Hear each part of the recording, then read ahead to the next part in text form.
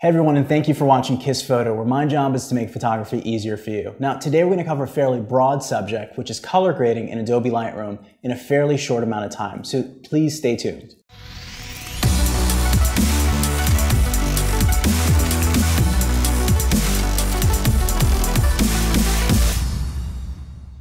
color plays a huge role in the way that people interpret your photographs. Color grading is just a way that you can alter those specific colors in your photographs to get a desired mood or tone.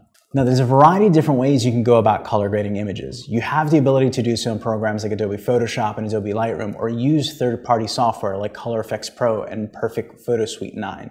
Now to keep things short and sweet and to the point today, I'm going to go ahead and focus solely on color grading in Adobe Lightroom, specifically because you can bulk edit images and it's just easier for most photographers who are just starting off in Lightroom. Now let's go ahead and jump straight into Adobe Lightroom and look at some of the images that I've taken specifically for this tutorial today. Okay, so before we jump into anything, I want to mention that my photo is probably different than yours. I've shot at 1 60th of a second, f2.8, ISO 400 using an 85 millimeter lens. It's shot using diffuse window light against the black background. And I mention that because my results are probably going to vary from yours, but the concepts that I'm going to teach today are still going to be the same. Okay, so because we're color grading, the first thing I'm going to note is we're strictly going to focus on color related, the color related aspects of Lightroom. Okay, primarily we're going to focus on our white balance, our presence, and our tone curves. I'm going to skip for this specific tutorial our, uh, our other sections, or HSL, our hue, saturation, and luminosity, our color, our black and white, and our split toning, where we're going to focus primarily on these three uh, parts before we jump forward into more advanced sections. So let's move forward. Okay, let's start off by mentioning what each part of the color channels actually do. First and foremost, our first part, our white balance, is going to obviously go ahead and change our white balance. The temperature is going to change it to either cooler or warmer depending on what we're trying to do. Our green, uh, sorry, our tint is going to change an image and either add green or magenta tint to it to adjust for different color temperatures in light. Our Presence section, our clarity will go ahead and manipulate contrast in our midtones. So if you've ever wondered why it looks like it's adding detail, that's the reason why. It's going to the midtones and adding some contrast in there. Our vibrance is a great tool to use if you're a portrait photographer shooting on location or a wedding photographer shooting on location where you're manipulating most of the saturation aside from skin. Because this image is very, very flat, there's not much color to it aside from the, the skin, it's not necessarily going to change anything aside from the skin itself. So if you're outdoors, that's where you go ahead and manipulate things like trees and plants and bushes and make it look pretty. I'm going to manipulate it here. This is why when we desaturate it, we still have some color. It's adjusting for everything aside from skin. Our saturation works on every single color of everything. It either oversaturates it or completely desaturates it, depending on your setting. Our RGB channel is the mixture of red, green, and blue colors in your image. Red, green, and blue are obviously the uh, primary colors of light. The opposite of red is going to go ahead and be cyan. Green is magenta, blue is yellow. I mention that because it's extremely important once we move on to this color grading part. Let's go ahead and just figure out what this image is and what we're trying to do with it. Okay, first and foremost, I want to go for more a cinematic look. Okay, cinematic looks are completely or mostly desaturated tones. Um, we're adding blues to the shadows. We're adding a slight bit of yellows to the highlights and that would be a more or less a good start with a cinematic photo. So let's go ahead and figure out how we're going to get there. First things first, we're going to work step by step. I'm going to go to my temperature. I know I want to add some cool tones to my image. Let's drag that up. I would say 18 is fine. Now you'll notice I have some magenta left over, so in order to subtract magenta in my tints, I need to go ahead and just manipulate that and add some green in there. I would say that's perfectly fine. So now we have a more uh, cool image in regards to everything. I'm going to skip again any contrast select its related sections. We're going to jump straight to clarity. Um, I need some more detail. I'm not happy with some of the details that he has in the midtones in his face. I want to add some details to his eyes. In order to do that, I'm going to add clarity. Let's go ahead and adjust clarity for this. So I have more contrast in his eyes and his eyebrows. So it, it's giving the definition that it has more detail when it really doesn't, but again, it's just contrast in the details. Vibrance, I'm gonna go ahead and drag down. I'm gonna use it almost like saturation for today. Why? Because it's the first option. That's the only reason why. Okay, that looks fine. So it's a completely desaturated uh, image. It's still on the cooler side of things.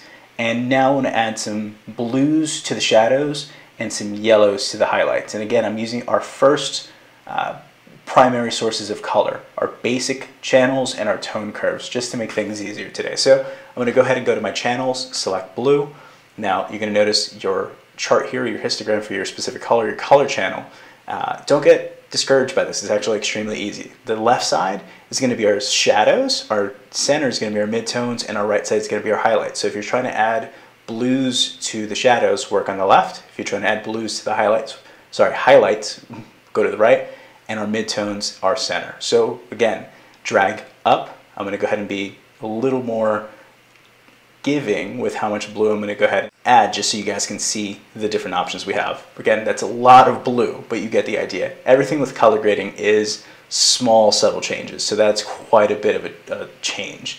Again, just a subtle curve. And what that did was it added some blues to the uh, the shadows here, but it also added blues to the midtones and it added blues to the highlights. You can tell that because of the line that's here, our curve is now above that line, so it's adding blue to those tints. So in order to take away blue from the midtones, I need to go ahead and set, select a new point, drag down the point towards the center, and doing that, what it's doing is it's adding yellow to the blue to subtract blue. So again, it's just small subtle changes, but let's go here, okay? And add some yellow, again, is it below, below or above the line? Those are things that we need to know. If I add blue to the highlights, it's a tiny bit more blue. Okay, so let's look at before and after. I'm gonna show you a comparison between two images. That looks like nine images I selected. Let's just select two. Okay before and after. We have more of a cinematic quality photo from our first original image. It's a quick crash course introduction to color grading. Now, let's say for all intents and purposes, this is the image you want. This is the image that you want, to, or sorry, the preset that you want. You want to save all these settings. You never want to do this again. You, you don't want to remember those numbers. You don't want to write it down. It's as easy as saving it as a preset. I'm going to go ahead and go to presets, go up to the plus sign, save this as ASDF. Why? Because that's what's on my keyboard and that's what we're going with. We'll go ahead and select white channel, sorry, white balance, tone curve, clarity, sharpening, treatment, color, split tone, and process version. We're not selecting basic tones specifically because we don't want to change the tone curves per image. Specifically, if you have uh, images that have different exposures, it's also manipulating the exposures in those images and it's just going to look completely off. So let's just focus on the color aspect of things. I'm going to go ahead and press create. Okay, so now our ASDF is already saved. So if I selected another, another image, I don't want to go ahead and ever worry about that processing anymore. All I need to go down is click ASDF and it saved that. So if you ever heard a preset, if you ever downloaded a preset, it's the same thing.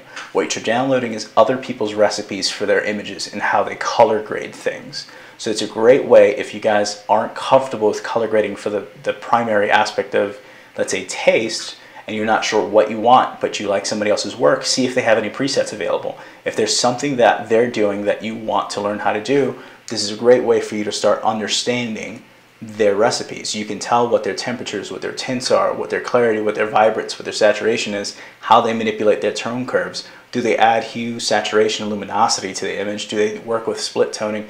You can tell that from a preset. It's a great way for you to learn. Now, presets are not going to work with every image specifically because it's a variety of different factors. If, for example, you wanted to use this preset for a very high key image, so what I did was add colors to the shadows. So if it's a very high key image, there's not much shadows to start off with, so it's not gonna look okay. So don't feel that every preset's gonna work for every photo. That's just the way that presets work. Now it's a great introduction, a great crash course to color grading, and I hope you enjoyed this video. I hope that's a good introduction for you in regards to basic color grading. We didn't get too advanced. I wanted you guys to learn what the RGB channel does, how to manipulate things to my taste. Uh, what do you want to learn? What do you want to learn next week? And that's what I want to know. What can I simplify for you? What can I make easier for you? Feel free to comment below or feel free to go ahead and either A, Facebook me, B, go ahead and find me on Twitter, C, email me, find a way to contact me. I want to know what you want to learn. Let's make your life easier. And I hope that you enjoyed the video today. Please share with your friends. Thank you for watching.